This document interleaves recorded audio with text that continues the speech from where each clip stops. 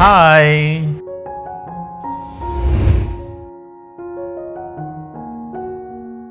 High nine వ్యూవర్స్కి నమస్కారము.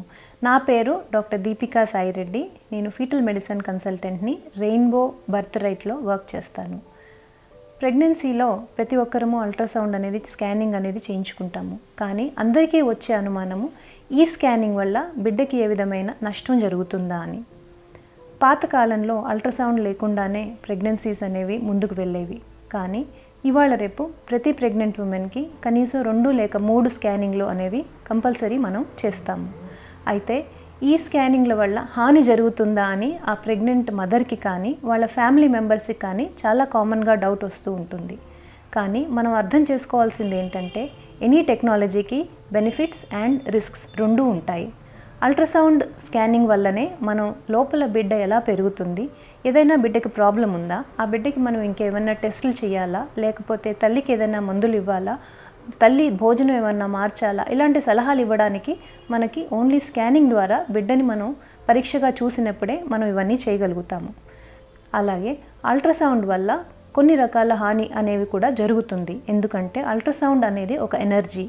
ఈ ఎనర్జీ ఎప్పుడైతే మన హ్యూమన్ టిష్యూలోకి వెళ్తుందో అప్పుడు కొన్ని రకాల బయో ఎఫెక్ట్స్ అనేవి జరుగుతాయి. ఈ ఎఫెక్ట్స్ రెండు రకాలుగా ఉంటాయి. థర్మల్ ఎఫెక్ట్స్ అంటే వేడి వల్ల జరిగేవి నాన్ థర్మల్ ఎఫెక్ట్స్ అంటే వేడి లేకుండా కూడా ఎఫెక్ట్స్ జరుగుతాయి. థర్మల్ ఎఫెక్ట్స్ అనేవి మెయిన్గా ప్రెగ్నెన్సీ లేటర్ స్టేజెస్లో జరుగుతాయి. దీనివల్ల బ్రెయిన్ అనేది ఎక్కువగా ఎఫెక్ట్ అవ్వచ్చు. అలాగే నాన్ థర్మల్ ఎఫెక్ట్స్ అనేవి ఎర్లీ ప్రెగ్నెన్సీలో ఎక్కువగా జరుగుతాయి. దీనివల్ల క్యావిటీ ఫార్మేషన్ జరిగి డెవలపింగ్ ఫీటస్లో అబ్నార్మాలిటీస్ రావచ్చు. కానీ ఏ టెక్నాలజీ అయినా మనం సరిగా ఉపయోగించుకున్నప్పుడు దానివల్ల హార్మ్ఫుల్ ఎఫెక్ట్స్ని తగ్గించుకొని బెనిఫిట్స్ని పెంచుకోవచ్చు.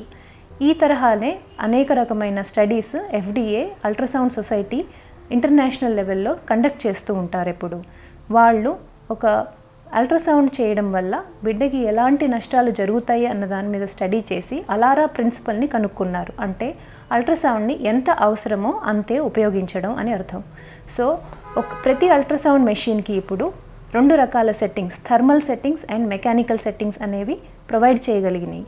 కాబట్టి ఒక స్కాన్ చేసేటప్పుడు డాక్టర్ కానీ ఆ టెక్నీషియన్ కానీ ఆ సెట్టింగ్స్ని గమనించుకుంటూ బిడ్డకి హార్మ్ఫుల్ ఎఫెక్ట్స్ లేకుండా ఏమేమి ఇన్ఫర్మేషన్ మనం ఆ బిడ్డ నుంచి లాక్కోవాలో అవన్నీ కూడా ఆ అల్ట్రాసౌండ్ స్కానింగ్లో వాళ్ళు కేర్ఫుల్గా చేస్తే మనకి అల్ట్రాసౌండ్ స్కానింగ్ వల్ల బిడ్డకి బెనిఫిట్స్ ఎక్కువ ఉంటాయి కానీ హార్మ్ఫుల్ ఎఫెక్ట్స్ అనేవి మనం ఈజీగా తొలగించుకోవచ్చు. అందుకనే ప్రతి ఒక్క ప్రెగ్నెన్సీ ప్రెగ్నెంట్ లేడీ కూడా వాళ్ళ డాక్టర్ సలహా మేరకు అవసరం ఉన్నంత అల్ట్రాసౌండ్ స్కానింగ్ అనేది చేయించుకోవడం కంపల్సరీ.